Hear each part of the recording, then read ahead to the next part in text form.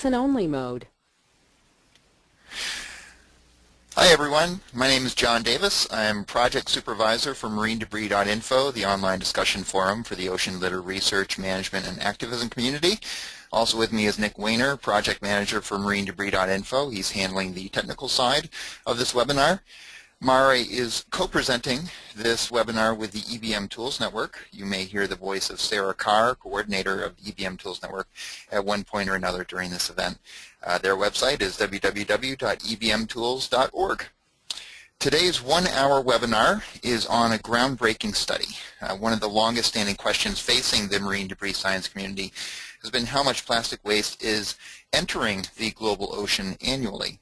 Jenna Jambeck uh, led a research team to answer this question, linking worldwide data on waste management infrastructure, population density, and economic status.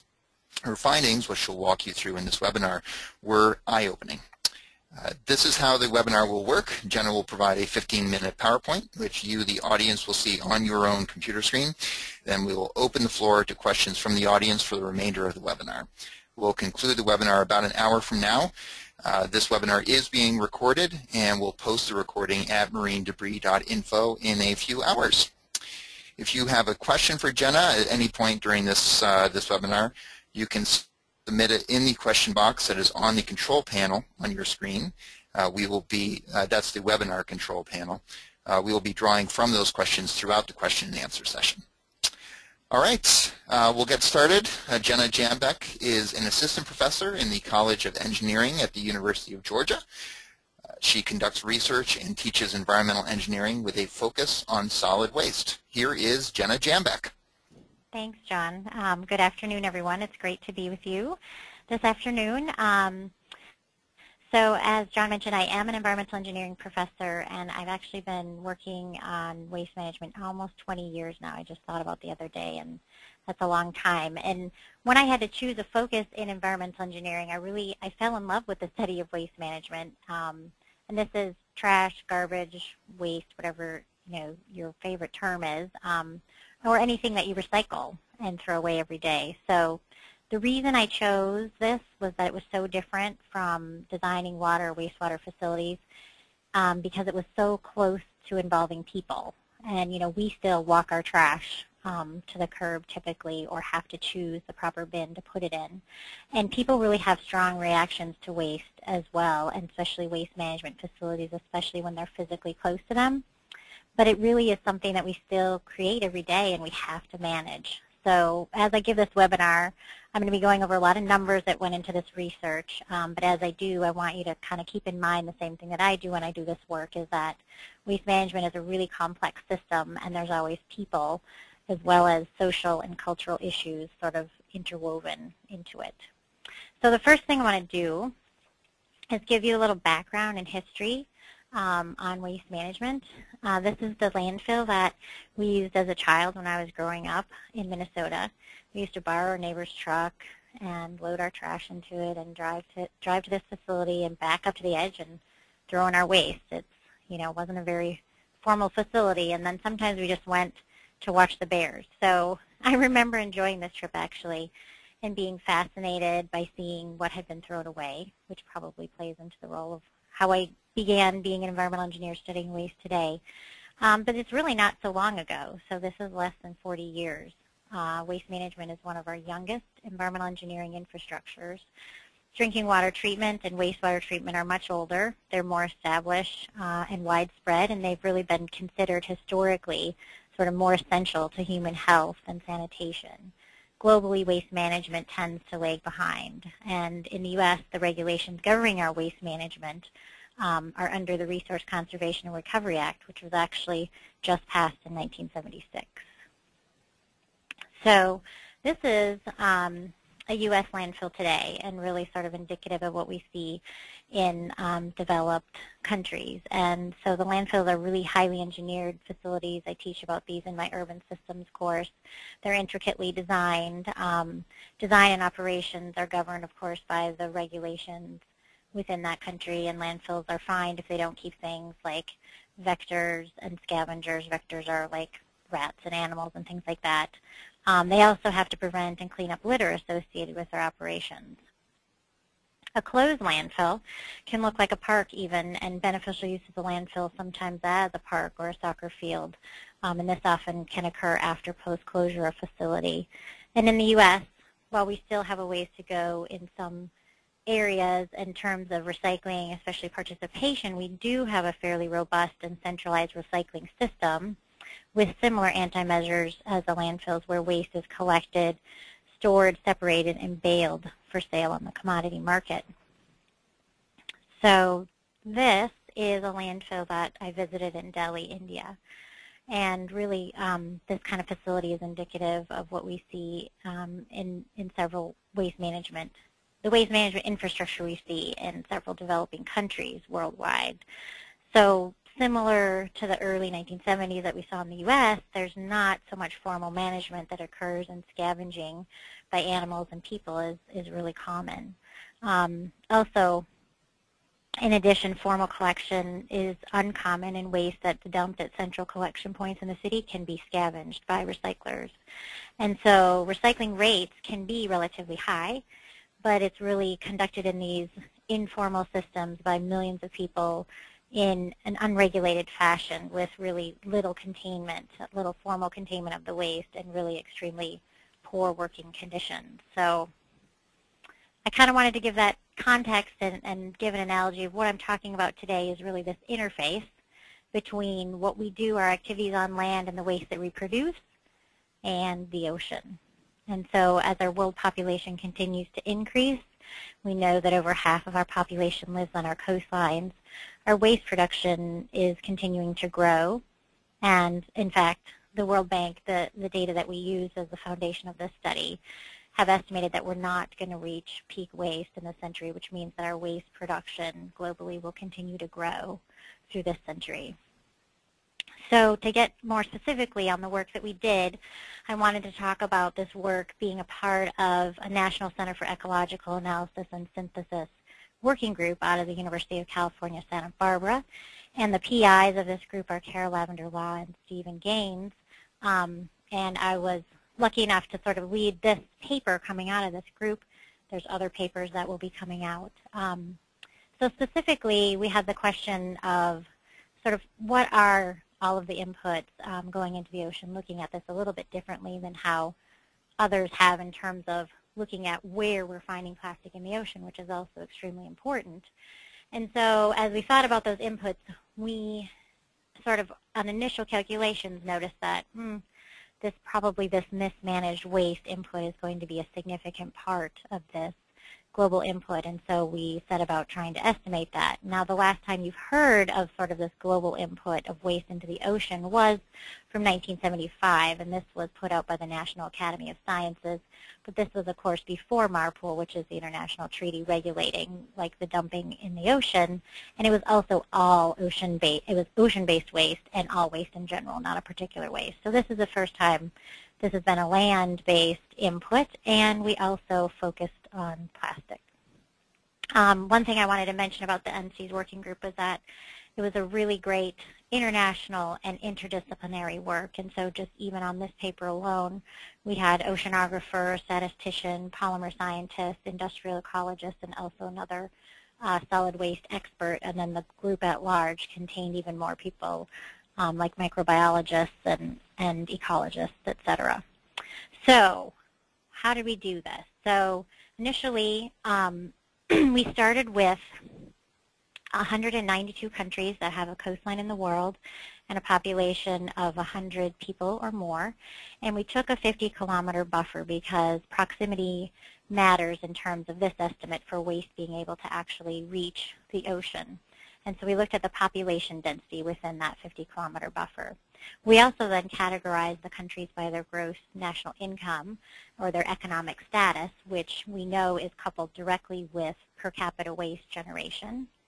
And so then we had the per capita waste generation of each country, and I wanted to mention all this data came either directly from the World Bank or models then that we produced from data from the World Bank. And so once we had the population density and the per capita waste generation, we looked at the percent plastic in that waste stream. And then from there, we needed to look at the waste that's mismanaged, in those countries, and that's made up of two components. One is inadequately managed waste, and what we mean by inadequately managed waste is that waste that's not managed in an organized system. And so it's typically open dumped or available for um, available to be released into the environment. And then as you can see from this picture, so even though you know people are working with this waste, if you can imagine if there was either a bad storm or wind, um, you know, so it's very easy for this kind of, you know, uncaptured waste to be blown or washed in either directly into the ocean or into a waterway that then can lead to the ocean. And then the other component of mismanaged waste is the percentage of waste that's littered.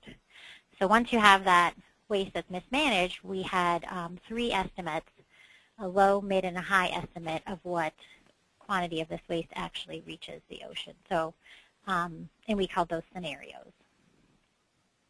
So what did we find?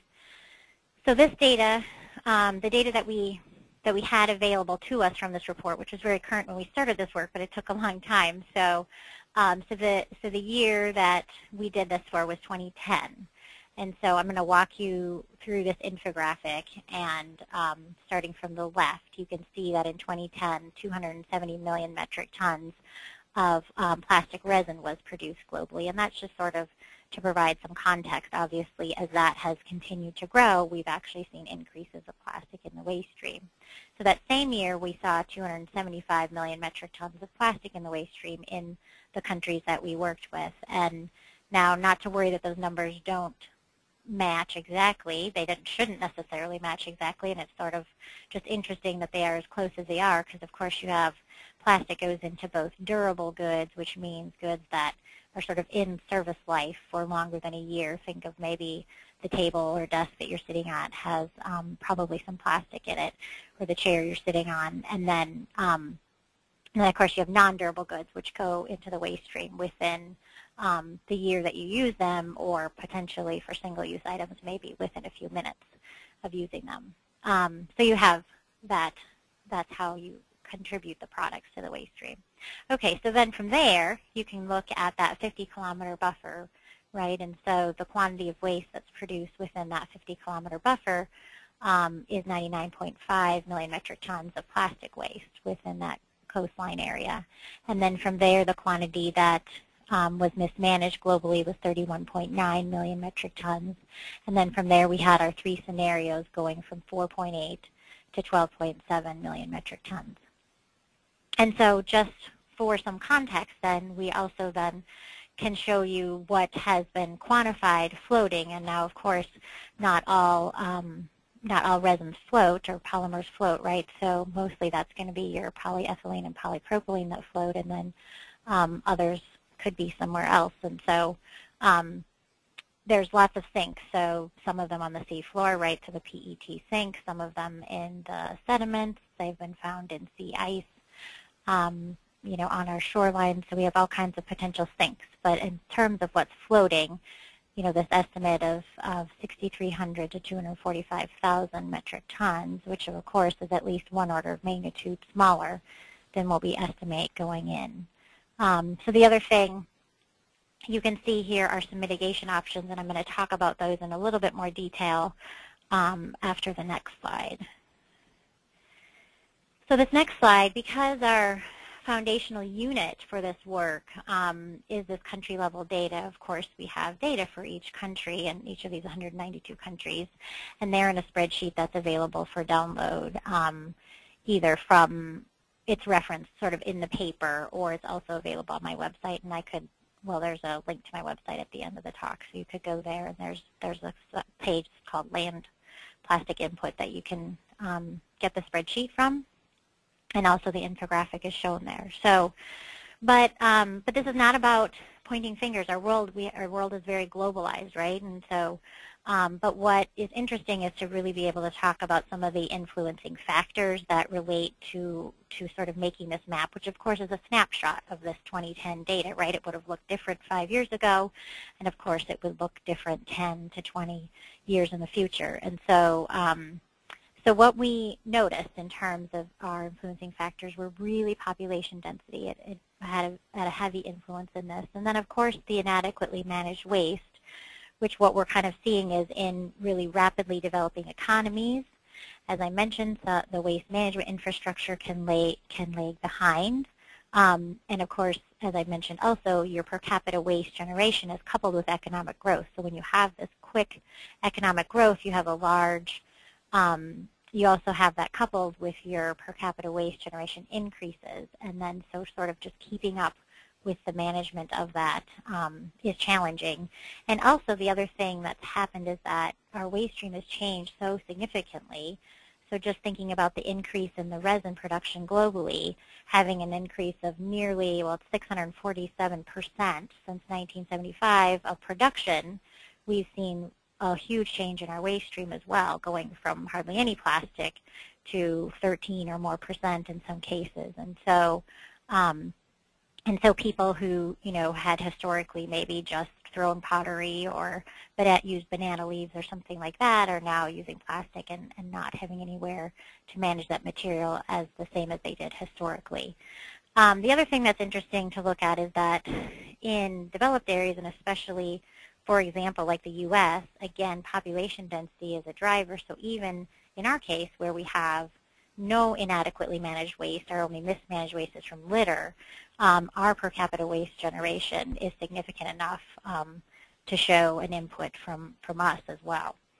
So the other thing we did then was to project forward. And the reason we did this was to show that if business as usual were to continue, so we weren't, we're trying to show if we don't improve our waste infrastructure um, globally or make any other changes in terms of waste reduction, et cetera, this is the picture that we're going to see. And so what happens that by 2025, the quantity going in annually um, nearly or doubles to about 17.1 million metric tons, and that cumulatively by then, and in mid-estimate, we would be looking at about 155 million metric tons.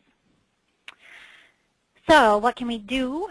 Um, so we have this, the neat thing about this framework that we developed then is not only to do some of these projections, but also to be able to look at some of these mitigation strategies. So even just reducing that um, mismanaged waste by 50% in our in the top 20 countries by 2025, then you can reduce the input um, by 41%.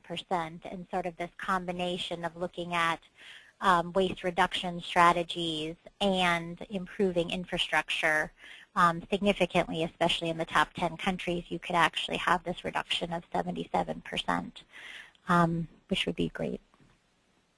So um, one other thing I wanted to bring up, kind of bring you back to this again to talk about the mitigation options. So I kind of talked a little bit about reducing plastic in the waste stream and improving infrastructure, but also I think in some ways we're always going to have some of this litter and some of these issues related to loss of waste, sadly, but um, thinking about capture, so even just uh, technology related to stormwater systems and, and capturing trash within those. And um, one of my favorite examples of another interesting use or application of this, I should say, is the Baltimore Water Wheel, where they have this solar and water-powered wheel that's collecting um, all of the floating debris in um, the Baltimore Harbor.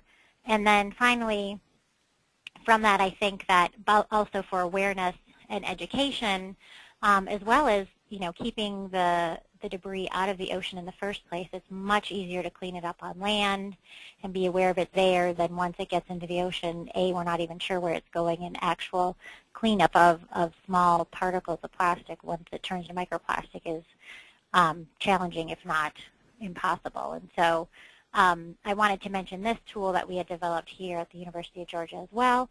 It was focused, um, or was a feature, excuse me, in the EBM toolkit um, tools, and so you can also locate it there on, on that website, um, or you can visit us directly at the University of Georgia.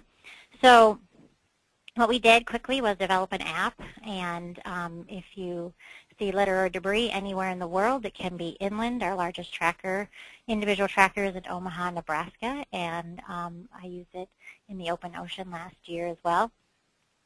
you just simply tell us about it and um, it immediately goes into our database and is available online for download and, and also shown um, in, as immediate feedback on the website. So what are the goals here? Less error without, you know, replacing paper and pen. We also get more data. You still, the, the volunteer or the person using it still tells us the same thing. Here's what I found. Here's a count. But we get so much more data. We get the GPS coordinate, time and date stamp. Um, you have near real-time data gathering and upload capabilities. You have really easy access and download to the data that comes out in Excel. And um, we just we have people all over the world using it, researchers to citizens to citizen scientists.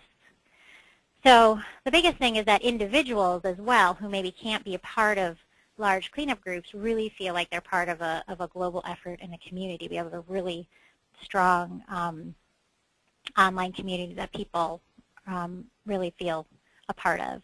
So we have, as I mentioned, um, some global reach. We've had over 12,000 downloads, and our surpassing data comes in every day, which is great, um, surpassing 46,000 entries.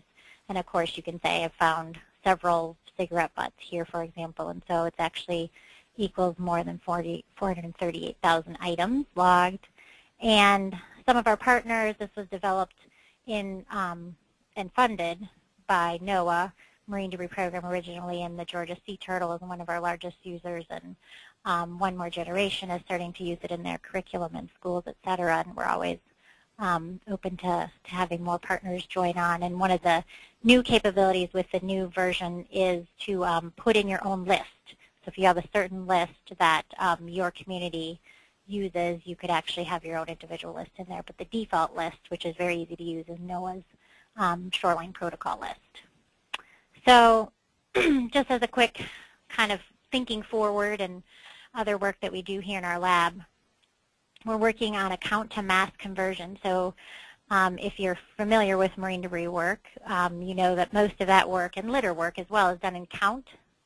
But uh, coming from the waste management world, as I do, we do everything in mass. And so to get those two data sets to talk to each other, which we grade especially when we're looking for where is this plastic going and quantifying what we're finding on beaches, et cetera, we need to have the mass of what we're seeing. And so what we've done is take samples of marine debris from all over and dry them and remove the sand and then weigh individual items so that hopefully if someone gives us a count of items, we can fairly accurately convert that to a mass. Um, and so hopefully that's a paper that would come out later this summer. I also have a master's student doing some plastic fragmentation studies, excuse me, based upon UV temperature and mechanical mixing. And then I'm also working on particle size distribution of plastics um, from an open ocean sailing trip called eXXpedition that I went on last fall and some of their future trips. And we're trying to actually look at particle sizes smaller than the 333 micron that are typically captured in the, um, the trawl sampling.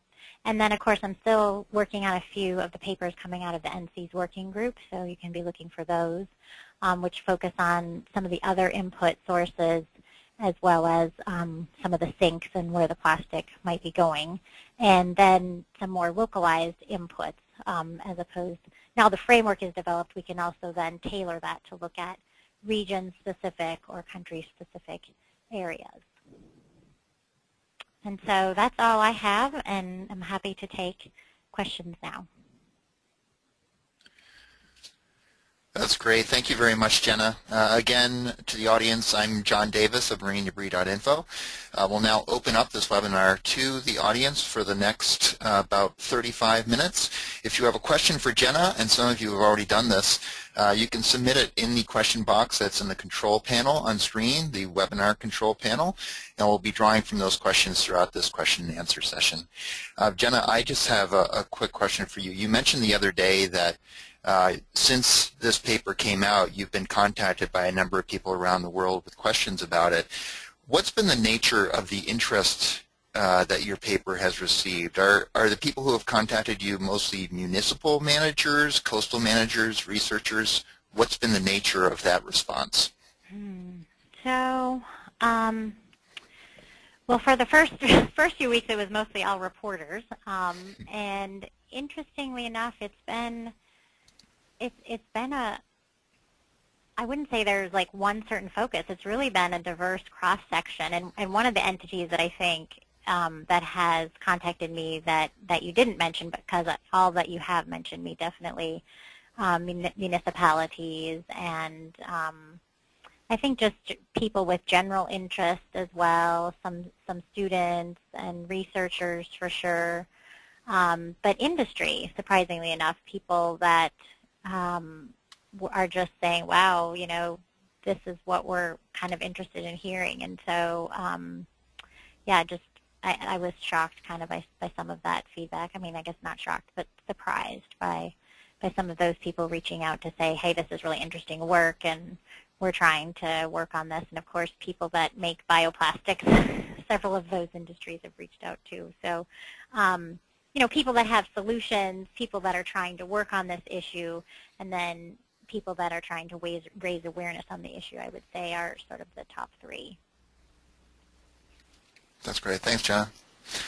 Uh, do you feel the use of biodegradable plastic for disposable items is a viable solution to this?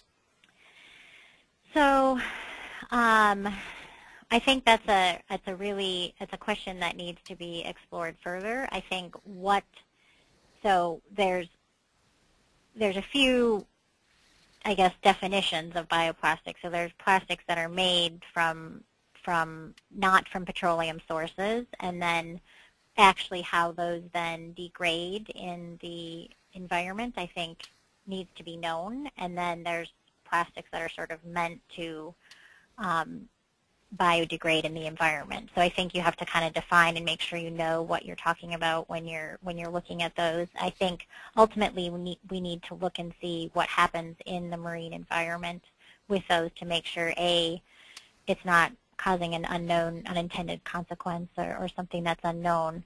And I think what's challenging, though, about this is that, you know, plastic is was produced to be durable and to hold you know, specifically a lot of single use or for food packaging, right? So to be durable and, and hold this item and keep it fresh and it has all these requirements associated with, with its purpose and then those are sort of almost directly go against it, you know, being something that would dissolve easily in the environment. And so I think that that's the real challenge.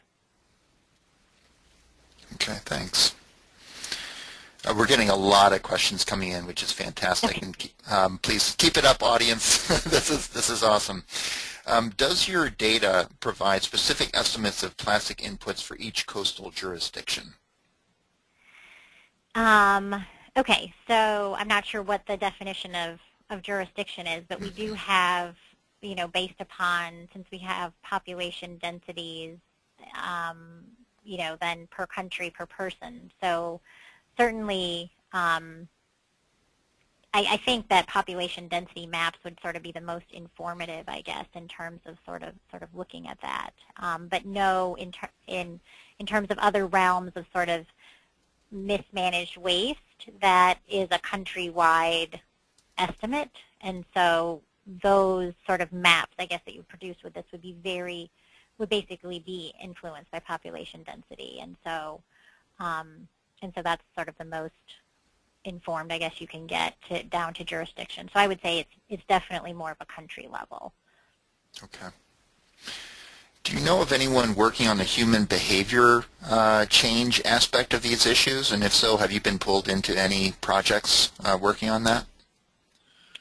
Um, so the most I did um, see a report uh, by Richard Thompson, and that was looking at more of gathering um, fishing, like working with fishermen. And when I worked in New Hampshire, we did work with the Marine Extension there um, a lot with fishermen, which is uh, outside of the scope of this, right? We were looking at municipal waste. And so the behavior aspect, I feel, really kind of relates to the litter, um, and I actually haven't been approached by anyone um, related to that. And I think the behavior associated with sort of the inadequately managed waste is, is much more sort of this cultural and social and sort of economic development issue. And so um, I, you know, I guess I don't have any other specific names of to give in terms of those doing behavioral research, but um, I do think it's an interesting aspect of it, and it's an interest of mine as well. So if the question is, am I interested in that, the answer is yes.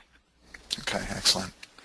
Uh, one interesting part of your your study and presentation is, um, I mean, you started off the presentation talking about how waste management in the U.S. has gotten better, right. and yet when you take a look at the um, the map of countries, the U.S. is not one of the lightly colored ones. We're, right. we're producing uh, plastics that go into the oceans. What do you think would be a good example of a well-managed waste management site or, or uh, on a broader scale, a country that really has its act together on waste management? And what does that look like? Yeah, so um, so yeah, so keep in mind that the U.S. So I said the influencing factors for the U.S. are um, it's so it's litter and our per capita waste generation. So um, so if we kind of look at look and see, you know, what kind, and then I, I don't have a specific country, but I can give you a few examples then for countries that, um, of some things that I think are some good things that are going on.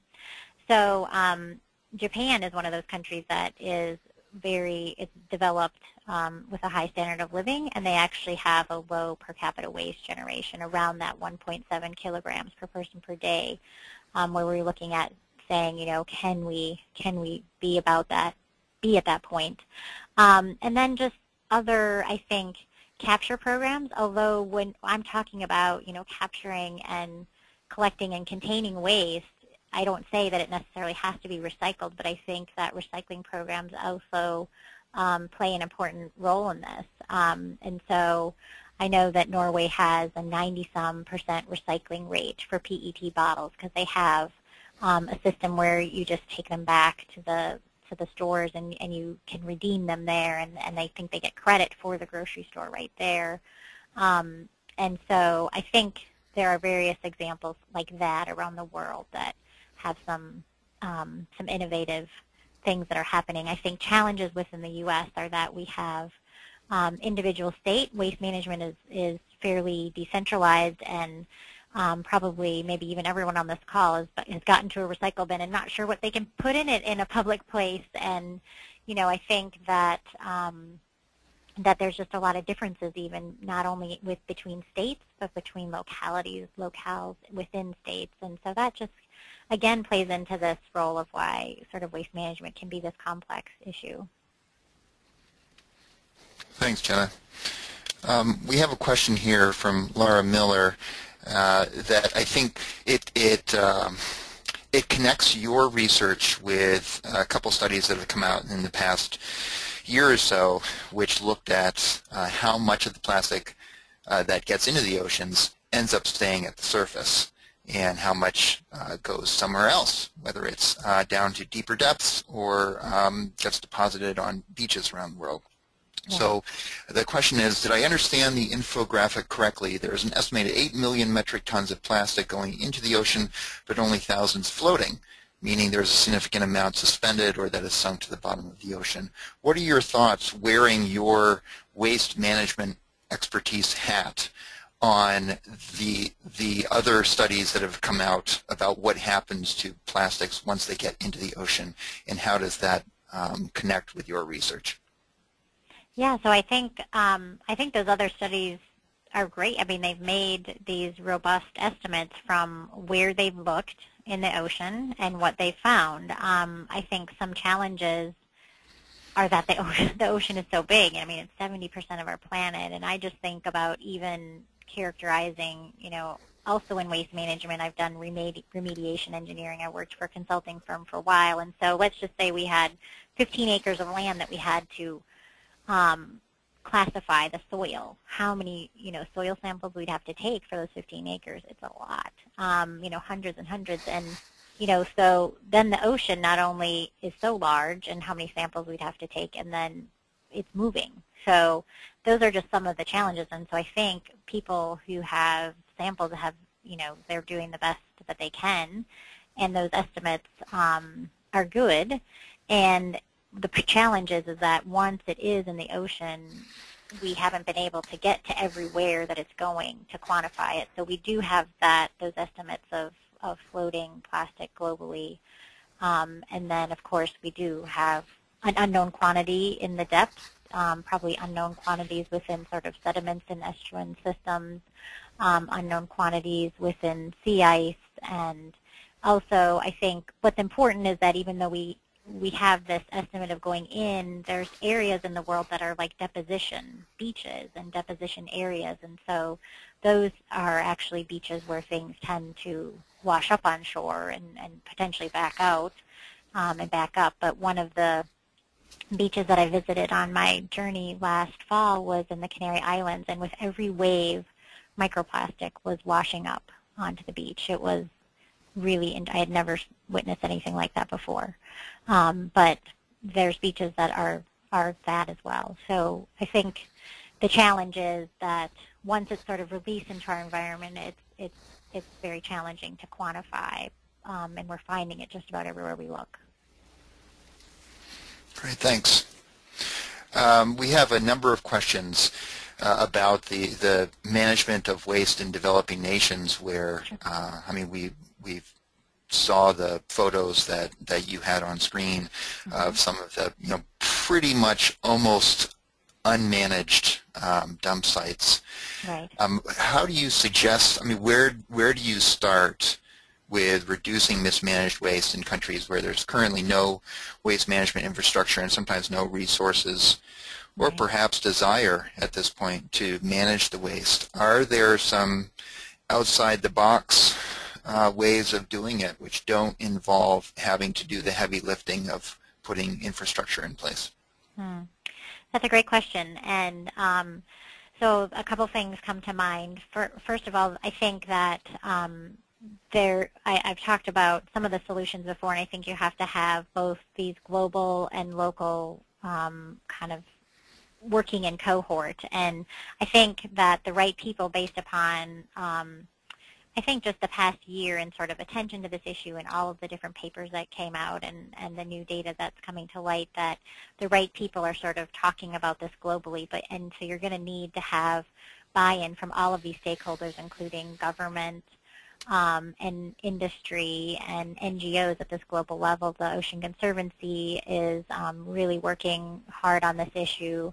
Um, the State Department is involved now, and the Global Ocean Commission, you know, recently had a meeting, and, and these were pretty high-level meetings with the right people involved that can hopefully make things happen. And many of these people are thinking about outside of the box issues and really involving industry, um, seeing this as an extern externality to their um, operations. And so um, I think that's really important. I think the other thing that is also important is sort of these local grassroots efforts and these um, uh, sort of solutions, I guess I would say, at the local level. Um, some of them still involve some of these larger stakeholders, but a couple examples. I want to give our interfaces project within the Philippines where they're taking um, fishing nets, and of course this isn't municipal waste, but you can of course think about how this also could be applied. Um, fishing nets that are collected and um, refining those, but paying the community, starting a community bank, and really kind of starting a different economy there, um, or adding to the economy, I should say for them to collect these nets and supply them then, and they're making recycled carpet tiles out of them here in Georgia. Um, the other is a skateboard company. They're taking recycled fishing nets in um, Chile and making skateboards, and so you could think about just scaling those kind of solutions up into various areas, and I do think it's going to take out of the box thinking because um, these formalized systems and building this infrastructure may not be the way to go in every country if they already have millions of people working in an informal waste management sector, how can we formalize that in the way that those people get to keep their jobs, but their working conditions are improved and you are helping, you know, even if there's had a building to work in, then we wouldn't be seeing some of these releases of this waste into the environment. And so maybe the infrastructure isn't these you know, huge landfills or, you know, what we've seen sort of in our westernized environment, but maybe it's, it's something different. But I think the key is um, improving their working conditions for sure and then making sure that we capture and actually contain the waste. Uh, along that line, you mentioned the Baltimore Water Wheel, which I, I just think is such a great device. Me too. Uh, and and we did a we did a webinar on it um, a few months ago. And oh, nice Yeah, the, the recording of that is on marinedebris.info in case anybody wants to go back and listen to that. Uh, but do you see that or some some similar device? I mean, would you like to see that on like every river around the world? Um, do you think that would be a good use of uh, resources, financial resources, to do that, or um, do you think that there are other ways that money can be more um, efficiently used?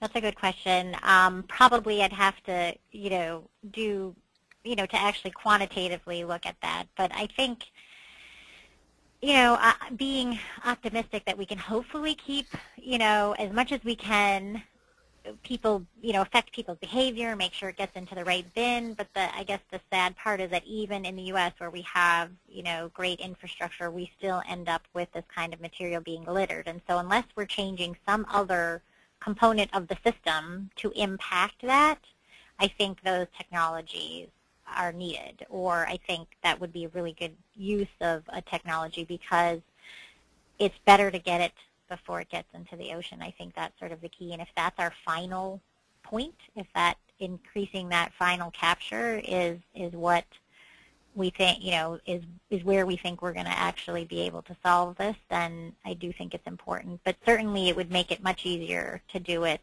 upstream. And and I and I've heard the water wheel folks say this as well. They're not saying you know, we shouldn't do anything upstream because we have the water wheel. No, of course not. We, but in order to get any of that final stuff um, that still is there, even though we've tried to even, you know, look at more of a circular economy and redesigning products and looking at material substitution and waste reduction, all of those things we should think about. But then um, if we still are seeing an issue, then I think that technology is is great. I mean, it's solar operated and water operated and and you know is not impacting the environment negatively, why not? Yeah, yeah, it's a pretty elegant device. Mm-hmm. Um, we've we've gotten a couple uh, questions on marine debris tracker, which you mentioned at, oh. at the end of your presentation. I'm really glad that you did. Great. Um, do you how do you use the information that you're collecting from that, and do you encourage people to throw away the trash that they're logging? Does it double as kind of a, a beach cleanup? Uh, yeah, for sure, for sure. Um, we're very hopeful that that people are collecting. I mean, certainly some of the open ocean data, um, it, you know, that's not possible. But the but the um, the on land data that people are collecting, yes, we do encourage them to pick it up and throw it away. Of course, we do have some of the NOAA protocols on there in terms of like hazardous, be careful of hazardous materials and whatnot. We don't directly say you must do this, you know, kind of, it's, you do it at your own risk, but certainly encourage that. And in most cases, the people that communicate with us are saying, yes, I'm picking up litter, and you know, this is what I'm doing. Um, and darn, now I forgot. The, what was the first part of the question? Uh, how are you using the data? Oh yeah, yeah. So. Um, so a couple things. So some of our partner organizations, like the Georgia Sea Turtle Center, has already published a paper in Marine Pollution Bulletin, and you could look up that. Um, that's by Jeannie Miller Martin.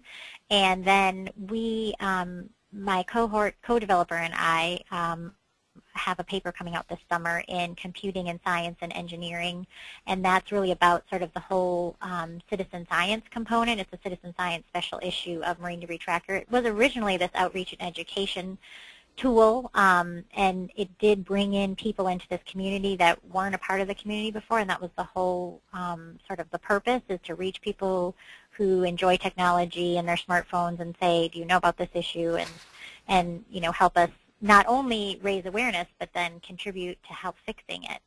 Um, and this is opportunistic data, so we need a lot of it to be able to do like these more robust scientific analysis. But I'm I, I wasn't sure that we were ever going to get to that point when we first released it, but I'm certain now that we are. And so um, even in this this count to mass work that I'm doing, I'm going to look at applying that to the marine debris tracker data, and so that should be a part of that publication. And then, again, definitely there's locales. Certainly Omaha, Nebraska, and Jekyll Island, Georgia, we could start to say some um, scientifically robust things about, but hopefully globally as, as more data comes in. So the more data, the better for opportunistic kind of data collection, um, and it also helps the issue.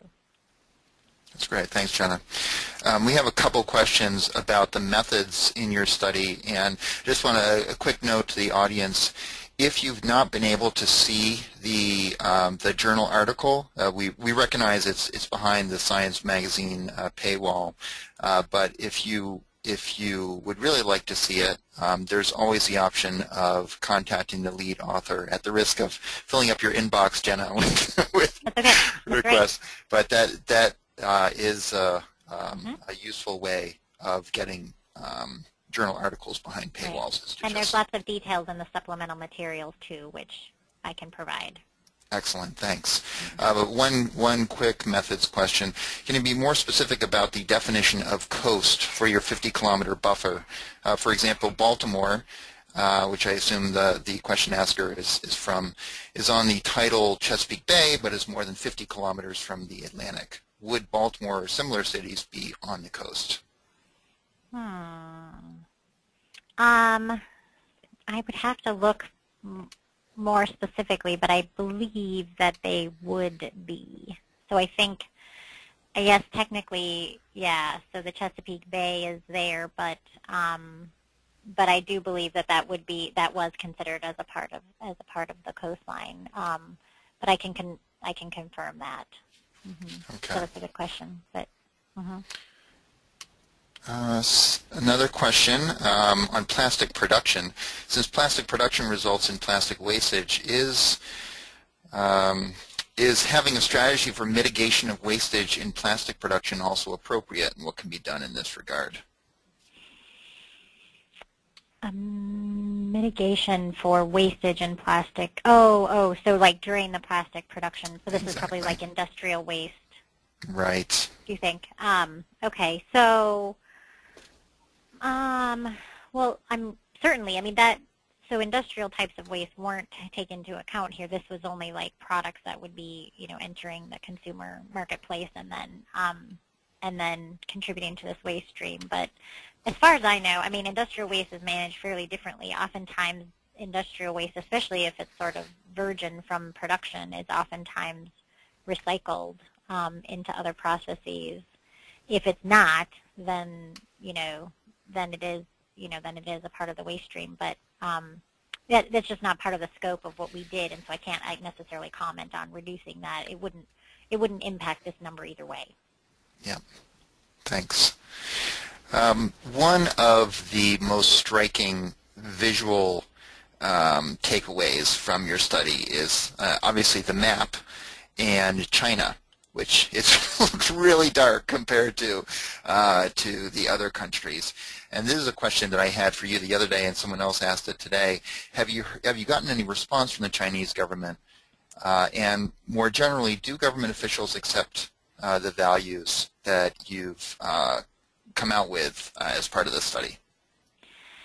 So, um, so interestingly, I mean, I haven't talked to spoken directly with the Chinese government. Um, I've spoken with um, some people that are in that area, some NGOs um, that are in Asia, and no one has said, no, you know, oh wow, this does, this doesn't look right. Um, for the majority of people that have contacted me have said, yeah, um, you know, this is this is what we're seeing. I mean, this is what we see, and um, you know, you can't look at something and saying, is this quantity right? But in terms of the visual um, sort of confirmation or visual input, um, people are, are saying, yeah, this makes sense. Uh, the other thing I want to say for specific countries, though, and, and when I put up the map, I didn't, um, I didn't say this then, but you know, because this is a global estimate, we had to use country-level data. Um, similar to the U.S., I guess, and you know how there's different states within the U.S. and different things going on. Within these countries, there's there's these different urban centers, and um, on-the-ground estimates would be would be needed. So if you were going to dive in, say, to a country and say, what do we want to do here now? We highly, I mean, we, we absolutely recommend that you go in and actually do sort of an on-the-ground estimate of waste that you see there um, because you know, we we couldn't dive incredibly deep into every single of these 190 countries. We had to take this country level data, and so definitely as a global estimate, this is robust. But in terms of, of looking at these numbers, we had to use World Bank data and sort of systematically not just sort of go in and replace or refine things, right? Because we, we needed to treat this all the same. And so, um, you know, people have looked at various countries on this list and said, hmm, I'm not, you know, what do you think about this? And I'm like, well, you need to, you know, this, you know, maybe tiny this or that, but, you know, it's, um, in terms of sort of when we shifted things, so we did some sensitivity analysis as part of the review process for this. And while maybe a country would jump here or there based upon some changes, um, you know, even in, the, in, we modeled the inadequately managed waste um, based upon the empirical data from the World Bank, um, some differences in doing that. A country might jump one or two, but the really the top 20 always stayed the same. And so um, so it, it's it's really robust in that way, but we recommend going into those countries. So I think, I guess the bottom line of that question is it's no one has said we don't think that this is what's going on. We and China, you know, there's a recent paper that came out quantifying the informal waste management recycling infrastructure, um, and they were talking about some of their initiatives. I mean, they this is on their radar, um, and you know, I think that they recognize that it's an issue and are trying to address the problem as they can. So, and I think there's countries now globally willing to work with them on it as well. That's great. Thanks. And other stakeholders too, I guess I should say, more than countries, other stakeholders, yeah. That's great. Thanks, Jenna. Uh, I have a question here. What are the most important research gaps related to the impact of plastics in the oceans? And that, that gets at um, one of the things that I think is most valuable about this study and about your involvement in the field, Jenna, is that it is coming from uh, an, uh, an area of expertise in waste management. A lot of the studies that are in this field of, of marine debris um, and marine debris management are, are done by biologists. Uh, whereas you come from a, um, a relatively unique background in our field and a valuable background with that perspective, uh, and with a perspective gained from your work with the great NCEAS group that's producing all, all this really useful information on marine debris, what do you see as the remaining gaps um, that, that are most in need of filling research-wise?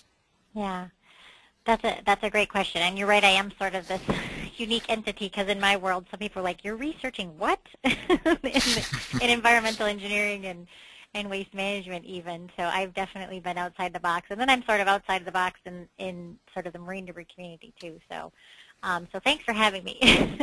um, but but so, you know, mine sort of goes back to this lane. I mean, immediately when I learned about I learned about this issue in 2000 when I was just starting my PhD work, and I had, you know, previously from my master's work, been fascinated by studying waste management and, and knew that I was going to focus on that. And then I heard about this issue, and I'm like, that's it, because I I care deeply about the ocean and know the importance and, and love it. And so I was like, that's what I want to study. And in 2000, well, forget it. Nobody. I mean, literally, people said no one cares about that. And so I luckily didn't really listen and uh, you know and still tried to keep connecting the two, my world and this this world of of marine debris in the ocean. Um, but yes, it does kind of go back to land. So questions in my mind are like how um, you know how does this waste actually get to the ocean? We know some washing and blowing, but I have an interest in sort of looking at some of the the um, watershed, the actual watershed inputs,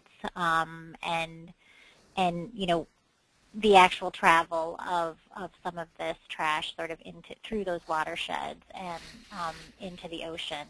And so that's sort of this sort of a little bit of a sciency, you know, engineering perspective. But I but certainly I think that um, what this paper and sort of the other papers came before bring to light is where is this plastic going? And so if you think of sort of the the risk um, to the ocean, it, that's a part of um, risk is two things, right? It, it's um, hazard and exposure. And I, am not the person to, to look at the hazard part, but there's other people, right, who are looking at impacts and, and what, you know, what are the impacts of the plastic and the microplastic and this and that, either on ecosystems or wildlife or um, up the food chain, et cetera. And then there's exposure. And so this, um, our paper really informs exposure because the quantity that's there is matters and that that describes exposure. But the other thing that describes exposure is where is it? And so I think um, that question right now really is is where we need to kind of focus and try and figure out because where it's going is really going to inform what that what the risks are. Yep. We, we had a question about um, recording of this webinar, which I'll quickly answer. Uh, yes, this is, this is all being recorded, and we'll be posting the recording on the marinedebris.info website in a, in a few hours. We'll also send a link to that recording to the marinedebris.info listserv so that people can, can listen to this um, whenever they'd like. Uh, I have a macroeconomics question for you, Jenna. Uh, the low cost of oil is impacting, the currently low cost of oil uh, is impacting the recycling of plastics. Does that factor into your mitigation recommendations and or your uh, projections of, um, of plastic um, production and, and plastic waste production in the future? So the, the short answer to that sort of quantifiably in turn, or the, or the direct um, input of that is, is, no, right? So we're just, we basically, our plastic um, increase in the waste stream is sort of based upon historical increases that we've seen. And, and while the resin production has increased tremendously, the plastic in the waste stream has actually increased very small, small amounts. Um, I think it was like 0.19% sort of annually in the waste stream. Um, but certainly in terms of the, the economics or materials flow of plastic and the fact that, yes, oil is cheap. And the other thing is that plastic um, is being made from natural gas now as well. And so you really, you know, the, the fact that the virgin materials for creating um, this are are inexpensive. It's it's sort of hard to then value um, the waste stream. But I think if we look beyond just those um, you know, those really specific costs and think about some of these other externalities, then, then I think you can, you know, provide a higher value on the waste material. And um, I think that's happening. I mean, I've, I've seen that happening in the fact that they're, you know, collecting the fishing nets and um, there's a place called the Plastic Bank, I think that's actually collecting waste off of beaches and the fact that people are starting to think more beyond just sort of those um, sort of that narrow view of economics is where we'll start to see um, this waste have more value. Great, thanks. Um, we have a couple minutes remaining time for maybe one or two more questions. Um, here, here are two which are kind of related. Um, were you able in your analysis to account for situations in small island developing states, particularly many, many of which are heavily dependent on tourism that may significantly influence both total waste quantities generated and or composition of waste. Uh, and there was a question on China uh, with regard to um, did you account for the fact that a lot of the waste that is being recycled in China is coming from the U.S. and uh, and other countries, which are basically shipping our recyclables to China. Right, right, right. So um, yes, those are related, and I'll try to. Those are really big questions for one minute left. Um, Sorry. Okay. so, um, okay. So quickly with the island nations. So some of those, some of the the actual waste management numbers from those countries reported incorporate some of that data related to to tourism, et cetera. But at the same time, um, you know, like just even for example in the U.S., people traveling to the coast, that, that happens a lot. That's not incorporated because it's this consistent, you know, per person generation for that country. But then countries that are sort of influenced by that tourism as a whole are their data um, at least appears to be from what my observation of the World Bank data appears to be influenced by that. Um, but that's again, that would be something that you do, that you drill down into and refine at the country level, right? So that would make a difference there, which is why we recommend that if you're going to do individual countries. So the question about China is, is good as well, and certainly um, many of our recycling facilities here in the U.S. Um, have at least historically, I, I know that there's, try, there's some movement to try and um, reduce this, but I know ours we still ship our three through seven um, over to China for processing, and this this model does not take that into account. Those are baled and shipped on the commodity market. So once they're properly managed here and shipped there, they're sort of in the industrial infrastructure in China, and so we didn't then, um, you know, that's not taken into account in the mismanaged waste within China. I mean, it would be handled, you know, how they sort of handle their industrial materials, and whether or not that be um, a contributing factor would be another, another, you know, another part of a, a outside the scope of this study, but could be looked at, of course. Excellent. Thanks, Jenna. Um, we'll we'll wrap it up now. Can you change your screen to your contact Oh, information just yes. so that people? Sorry, I forgot. Yeah, didn't go. No, that's that. that's fine. Um, I think that'll be useful to, to Yep. folks who who have may have some questions or uh, are interested in seeing the study or checking out your website, which is really useful, um, Yep. or your Facebook page, which is also Yep. on there. Or follow me on Twitter. You're very there. accessible. yes, I am. Yep, um, which is awesome. Um, so thank you for doing this. Again, to the audience, um, thank you for all your questions. We got to maybe half of them. I really wow. appreciate your your um, your your participation. And again, the recording of this will be on the marinedebris.info website in a couple hours. We'll send the link to the listserv. Um, Jenna, thank you and congratulations on your work and best wishes for your continued research on this. Okay, thanks so much for having me. It was a real pleasure. All right. Thank you, everybody.